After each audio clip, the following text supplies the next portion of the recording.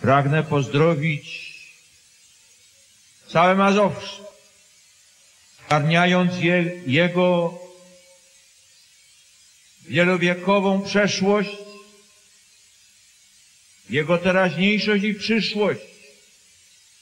To miejsce, jakie ma w dziejach naszej ojczyzny, w dziejach Kościoła, w dziejach świętości. Wystarczy wspomnieć świętego Stanisława Kostkę z Rostkowa, waszego rodaka.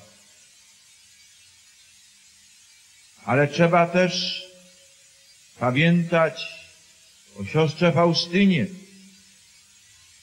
Posłannictwo miłosierdzia Bożego miało swój czas. Był to czas straszliwej II wojny światowej. Straszliwej pod wielu względami. Jakaś ostateczna eskalacja zła na naszym kontynencie.